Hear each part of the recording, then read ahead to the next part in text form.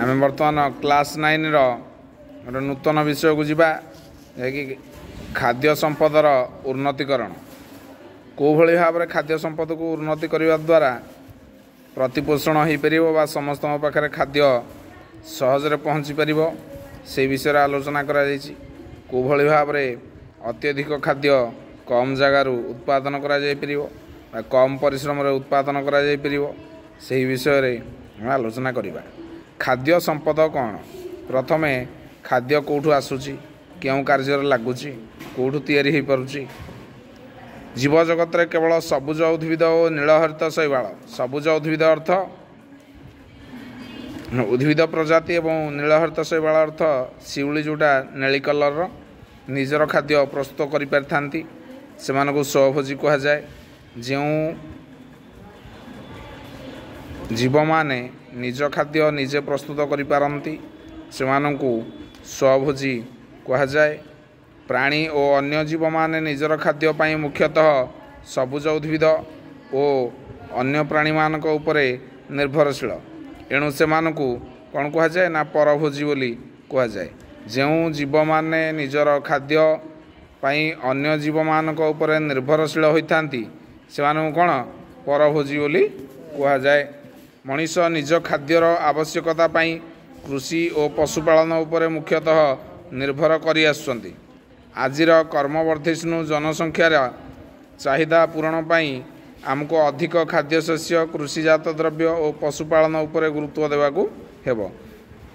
ସେ କହୁଛି ଅସଂଖ୍ୟ କର୍ମବର୍ଦ୍ଧିଷ୍ଣୁ ଜନସଂଖ୍ୟା। କର୍ମବର୍ଦ୍ଧିଷ୍ଣୁ ଅର୍ଥ ଅତ୍ୟଧିକ ଜନସାଧାରଣ ବର୍ତ୍ତମାନ ଖାଦ୍ୟ ପାଇଁ ଜନସଂଖ୍ୟା ବୃଦ୍ଧି ହେଉଛି। ଏଥିରେ ଖାଦ୍ୟ ଖାଇବା ବୃଦ୍ଧି ହେଉଛି। ତାପରେ ଆଉ କ'ଣ ବୃଦ୍ଧି ହେଉଛି? ଖାଦ୍ୟ ଖାଇବା ବୃଦ୍ଧି ହେଉଛି। ତାପରେ ଦେଖିବା ବର୍ତ୍ତମାନ।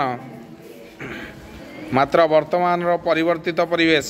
କାହିଁକିନା ଆଗରୁ ଯେଉଁ ପରିବେଶ ଥିଲା ବାୟୁମଣ୍ଡଳ ଏବଂ ଜଳବାୟୁର ପରିସ୍ଥିତି ଯାହା ଥିଲା ବର୍ତ୍ତମାନ ବାୟୁମଣ୍ଡଳର ପରିସ୍ଥିତି ଜଳୀୟ ବାଷ୍ପର ଉପସ୍ଥିତି ବିଭିନ୍ନ ବାୟୁର ବାୟୁମଣ୍ଡଳରେ ପରିମାଣ ଇତ୍ୟାଦି ସବୁ ଅପରିବର୍ତ୍ତନୀୟ ଅଛି।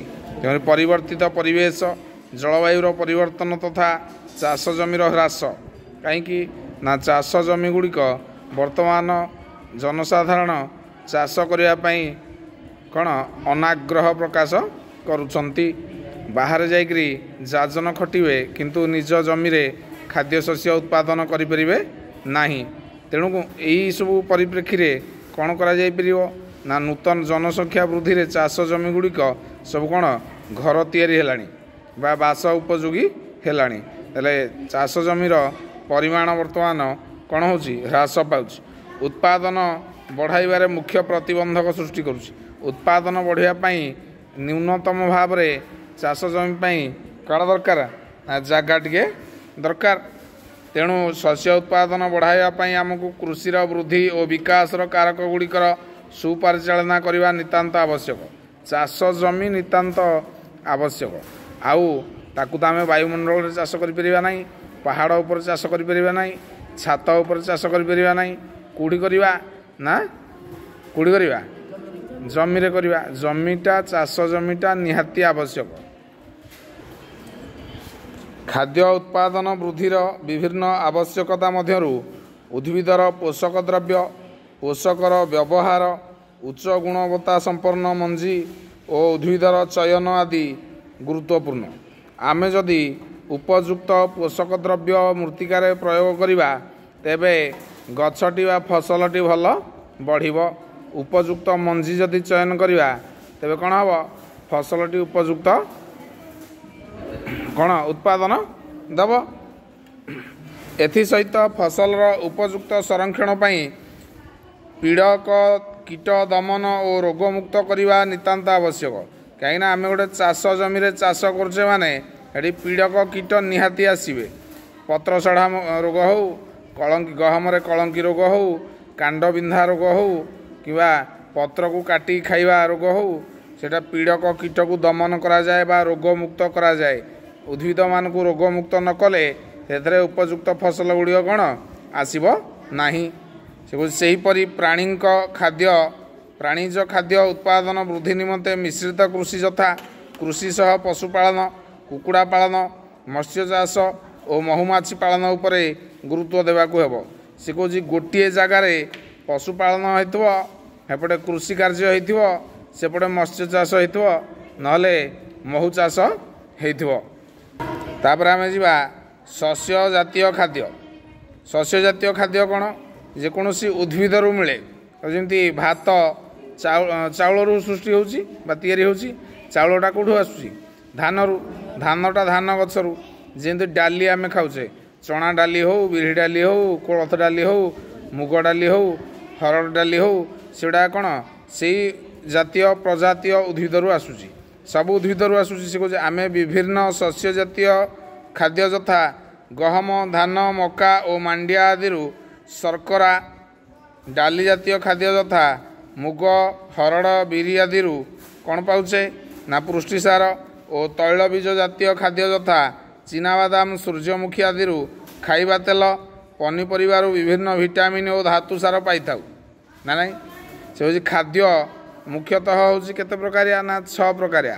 ରାସାୟନିକ ଉପ ଉପାଦାନ ଦୃଷ୍ଟିରୁ ପ୍ରଥମେ ହେଉଛି ଶ୍ୱେତସାର ପୃଷ୍ଟିସାର ସ୍ନେହସାର ଜୀବସାର ବା ଭିଟାମିନ୍ ଖଣିଜ ଲବଣ ବା ଧାତୁସାର ଓ ଜଳ। ଦେଖିବା ବର୍ତ୍ତମାନ। ସେ ହେଉଛି ଭିନ୍ନ ଭିନ୍ନ କୃଷିରେ ଆବଶ୍ୟକୀୟ ପରିବେଶ କାରକ ଗୁଡ଼ିକ ଯଥା ପାଣିପାଗ ଉତ୍ତାପ ଓ ସୂର୍ଯ୍ୟାଲୋକ ଇତ୍ୟାଦି ଭିନ୍ନ ଭିନ୍ନ। ଯେପରିକି ବର୍ଷା ଦିନେ ଚାଷ କରାଯାଉଥିବା ଖରିଫ ଶସ୍ୟ ଫସଲ ଠାରୁ ଶୀତ ଦିନେ ଚାଷ କରାଯାଉଥିବା ରବି ଫସଲରେ ପରିବେଶୀୟ କାରକ ଭିନ୍ନ ହୋଇଥାଏ। ଶୀତ ଦିନେ ଯେତିକି ଜଳ ତାପମାତ୍ରା ଏବଂ ଜଳବାୟୁ ଆବଶ୍ୟକ ଖରାଦିନେ ବା ବର୍ଷା ଦିନେ ତାଠାରୁ ଭିନ୍ନ। ବର୍ଷା ଦିନେ ଆମେ ଧାନ ଚାଷ କଲେ ଶୀତ ଦିନେ ଆମେ ଗହମ ଚାଷ କରୁଛେ ବା ବିଭିନ୍ନ ପନିପରିବା ଚାଷ କରୁଛେ। ହେଲା ଉଣେଇଶହ ଷାଠିଏ ଠାରୁ ଆମ ଦେଶରେ ଦୁଇହଜାର ଚାରି ମସିହା ମଧ୍ୟରେ ଚାଷ ଜମିର ପରିମାଣର ମାତ୍ର ପଚିଶ ପରସେଣ୍ଟ ବୃଦ୍ଧି ଘଟିଥିଲେ ମଧ୍ୟ। ଉକ୍ତ ସମୟ ମଧ୍ୟରେ ଶସ୍ୟ ଉତ୍ପାଦନ କ୍ଷେତ୍ରରେ ଚାରି ଗୁଣ ବୃଦ୍ଧି ଘଟିଛି। ସେ ହେଉଛି ପଚିଶ ପରସେଣ୍ଟ ଆଗରୁ ଶହେ ପରସେଣ୍ଟ ଯଦି ଚାଷ ଜମି ଥିଲା ଆଉ ସବୁ ଲୋକ କ'ଣ ଚାଷ ଉପରେ ନିର୍ଭର କରିକି ଆଉ ପଚିଶ ପରସେଣ୍ଟ ବଢ଼େଇଛନ୍ତି ଅର୍ଥାତ୍ ଶହେ ପଚିଶ ପରସେଣ୍ଟ ଶହେ ଭାଗରୁ ଶହେ ପଚିଶ ପରସେଣ୍ଟକୁ ଗଲା ହାରି ଚାଷ ଜମି। ସେଠି କ'ଣ ନା ପୂର୍ବ ଯେଉଁ ଶହେ ଭାଗରେ ଯେତିକି ଉତ୍ପାଦନ ହେଉଥିଲା ଏ ଶହେ ପଚିଶ ପରସେଣ୍ଟରେ ଏଥର ଚାରି ଗୁଣ ବୃଦ୍ଧି ଘଟିଛି। କିଭଳି? ନା ଉନ୍ନତମାନର ବିହନର ବ୍ୟବହାର ଉନ୍ନତମାନର କୀଟନାଶକ ସାରର ବ୍ୟବହାର ଉନ୍ନତମାନର କୃଷି ପ୍ରଣାଳୀର ବ୍ୟବହାର ଉନ୍ନତମାନ କୃଷକର ଜ୍ଞାନ କୌଶଳ ଇତ୍ୟାଦି ବ୍ୟବହାର କରି ସେ ଚାରି ଗୁଣ କୃଷି ଉତ୍ପାଦନ ବୃଦ୍ଧି କରିଛି। ଏହା କିପରି ସମ୍ଭବ ହୋଇପାରିଛି? ସେ ସମସ୍ତ କାରଣକୁ ଅନୁଧ୍ୟାନ କଲେ ଜଣାଯାଏ ଯେ ପ୍ରଥମେ ଉଚ୍ଚ ଗୁଣବତ୍ତା ସମ୍ପନ୍ନ ମଞ୍ଜିର ଚୟନ ତଥା ଶସ୍ୟର ଉନ୍ନତିକରଣ। ଉଚ୍ଚ ଗୁଣବତ୍ତା ମଞ୍ଜିର ଚୟନ। ଉନ୍ନତ ମଞ୍ଜିଟିଏ ଚୟନ କଲେ ଉନ୍ନତ ଗଛ ମିଳିବ। ଉନ୍ନତ ଫୁଲ ଫଳ ହୋଇ ଉନ୍ନତ ଖାଦ୍ୟଶସ୍ୟ ଉତ୍ପାଦନ ହେବ ତଥା ଶସ୍ୟର ଉନ୍ନତିକରଣ ହେବ। ଦ୍ୱିତୀୟରେ ହେଉଛି ପୋଷକର ସଠିକ୍ ବ୍ୟବହାର। ଯେତିକି ପରିମାଣର ପୋଷକ ମୃତ୍ତିକାରେ କ'ଣ ରହୁଛି ନା ଆବଶ୍ୟକ ରହୁଛି ସେତିକି ପରିମାଣର ପୋଷକକୁ ବ୍ୟବହାର କଲେ କ'ଣ ହେବ? ନା ସେତିକି ପରିମାଣର ପୋଷକ କ'ଣ ହେବ ରେ? ନା ସେ ମୃତ୍ତିକାକୁ ଆବଶ୍ୟକ ଏବଂ ଯେଉଁ ଚାଷକୁ ଯେତିକି ପରିମାଣର ପୋଷକ ଦରକାର ସେତିକି ଦେବା ଦ୍ୱାରା ଫସଲର ଉନ୍ନତିକରଣ ହୋଇଥାଏ। ଅଯଥା ଅତ୍ୟଧିକ ପୋଷକ କ'ଣ? ଫସଲ ପାଇଁ ଏବଂ ମୃତ୍ତିକା ପାଇଁ କ'ଣ ହାନିକାରକ? ଫସଲ ସଂରକ୍ଷଣର ସୁପରିଚାଳନା ଯୋଗୁଁ ସମ୍ଭବ ହୋଇପାରିଛି। ଫସଲ ସଂରକ୍ଷଣର ସୁପରିଚାଳନା ମଧ୍ୟ ଦରକାର। ଆମେ ଧାନ ଉତ୍ପାଦନ କରିଦେଲେ ତାକୁ କୌଣସି ଅଖାରେ କିମ୍ବା ରୋଗ ପୋକ ଦାଉରୁ ରକ୍ଷା କରିବା ନାହିଁ ଖରାରେ ଭଲ ଭାବରେ ଶୁଖାଇବା ନାହିଁ ତାକୁ ସେମିତି ରଖିଦେବା। ସେଥିରେ କ'ଣ ହେବ? ନା ବିଭିନ୍ନ କୀଟପତଙ୍ଗ ମୂଷା ଏମାନେ ଏବଂ ଫିମ୍ପି ଅଣୁଜୀବମାନେ କ'ଣ ଆକ୍ରମଣ କରି ସେ ଖାଦ୍ୟଶସ୍ୟକୁ ନଷ୍ଟ କରି ଦେଇପାରନ୍ତି ଯାହାକି ଖାଦ୍ୟ ଉପଯୋଗୀ ଆଉ ହେବ ନାହିଁ। ତେଣୁ ଏହି ତିନୋଟି କାରଣର ବିଶେଷ ଅନୁଧ୍ୟାନ କରିବା ଆବଶ୍ୟକ। ତାପରେ ଦେଖିବା ଶସ୍ୟର ଉନ୍ନତିକରଣ। ଯେଉଁ ଶସ୍ୟ ରହିଛି ତାକୁ ଉନ୍ନତି କିଭଳି ଭାବରେ ହେଉଛି। ସାଧାରଣତଃ ଉଦ୍ଭିଦ ପ୍ରଜନନ ବା ପ୍ଲାଣ୍ଟ ବ୍ରିଡିଂ ଓ ସୁସ୍ଥ ଉଦ୍ଭିଦର ଚୟନ ଦ୍ୱାରା ଶସ୍ୟର ଗୁଣବତ୍ତା ଓ ଉତ୍ପାଦନରେ ବୃଦ୍ଧି କରାଯାଇଥାଏ। ବୁଝ ଉଦ୍ଭିଦର ପ୍ରଜନନ ଉଦ୍ଭିଦ ମଧ୍ୟ ପ୍ରଜନନ କରୁଛି। ଆରେ ପୁଯୁଗ୍ମକ ଅଣ୍ଡିରା ଫୁଲ ଏବଂ ମାଇ ଫୁଲର ସମାୟନରେ ଯେଉଁ ସମାୟନ ପ୍ରକ୍ରିୟାରେ ଯୁଗ୍ମ କ'ଣ? ଜ ଜାତ ହେଉଛି ପୁଯୁଗ୍ମକ ଯୁକ୍ତ ସ୍ତ୍ରୀ ଯୁଗ୍ମକ ସେମାନେ କ'ଣ ଯୁଗ୍ମଜ? ମାନେ ମ। ତେଣୁ ସେହି ଯୁଗ୍ମଜ ବିଭାଜିତ ହୋଇ ପରେ ଭ୍ରୂଣରେ ଏବଂ ପରେ ମଞ୍ଜିରେ ପରିଣତ ହୁଏ ଏବଂ ଭ୍ରୂଣାଶୟଟି ଫଳରେ ପରିଣତ ହୁଏ ଯାହାକୁ ଆମେ ଖାଦ୍ୟ ରୂପେ ବ୍ୟବହାର କରୁଅଛେ। ଆମ ଦେଶରେ ବିଗତ ସତୁରି ଦଶକରେ ପ୍ରଫେସର ଏମ୍ ଏସ୍ ସ୍ୱାମୀନାଥନଙ୍କ ସହଯୋଗରେ ସଂଗଠିତ ହୋଇଥିବା ସବୁଜ ବିପ୍ଳବ ବା ଗ୍ରୀନ୍ ରିଭଲ୍ୟୁସନ୍ ଯୋଗୁଁ ନୂଆ କିସମ ଖାଦ୍ୟ ଶସ୍ୟର ପ୍ରଚଳନ କରାଯାଇ ପାରିଥିଲା। ଭାରତୀୟ କୃଷି ଗବେଷଣା କେନ୍ଦ୍ର ବା ଇକାର୍ ଆଇ ସି ଏ ଆର୍। ଭାରତୀୟ କୃଷି ଗବେଷଣା କେନ୍ଦ୍ର ନୂଆଦିଲ୍ଲୀ ଓ ଆମ ରାଜ୍ୟରେ ଥିବା କେନ୍ଦ୍ରୀୟ ଧାନ ଗବେଷଣା କେନ୍ଦ୍ର C R R I Cuttack. କଟକରେ କେବଳ ଧାନ ଗବେଷଣା କେନ୍ଦ୍ର ଆମ ଭାରତ ଯାକରେ ଗୋଟିଏ ଅଛି। ସେଇଟା କେଉଁଠି ନା କଟକ। କଟକର ପାରାଦ୍ୱୀପ କଟକରୁ ପାରାଦ୍ୱୀପ ଯିବା ଲାଇନରେ କନ୍ଦରପୁର ପଡ଼ିବ ସେ କନ୍ଦରପୁର ପାଖରେ ଅଛି ବାଁ ସାଇଡ଼୍ରେ ପଡ଼ିବ। ଲେଫ୍ଟ ସାଇଡ଼୍ ଯେଉଁଟା ଆମେ କହୁଛେ। କଟକ ଏବଂ ଓଡ଼ିଶାର କୃଷି ବିଶ୍ୱବିଦ୍ୟାଳୟ ଓ ୟୁ ଏ ଟି ଭୁବନେଶ୍ୱରର ପ୍ରଚେଷ୍ଟା ଫଳରେ ବିଭିନ୍ନ ଉନ୍ନତ ଓ ନୂତନ କିସମର ଧାନ ଓ ଅନ୍ୟାନ୍ୟ ଫସଲ ପ୍ରଚଳନ ହୋଇ ଆସୁଅଛି। ପ୍ରଜନନ ଦ୍ୱାରା ଉନ୍ନତ କିସମ ଉଦ୍ଭିଦର ସୃଷ୍ଟି କରିବା ପ୍ରଣାଳୀ ପ୍ରଥମେ ଲୁଥର ବୁର୍ବ୍ୟାଙ୍କ ପ୍ରମାଣିତ କରିଥିଲେ। ସେ ଜଣେ ଜୀବବୈଜ୍ଞାନିକ ଥିଲେ ଲୁଥର ବୁର୍ବ୍ୟାଙ୍କ ସେ ପ୍ରାକୃତିକ ପରାଗଣ ଦ୍ୱାରା ନୂତନ ଫଳ ସୃଷ୍ଟି କରିବାରେ ସଫଳ ହୋଇଥିଲେ।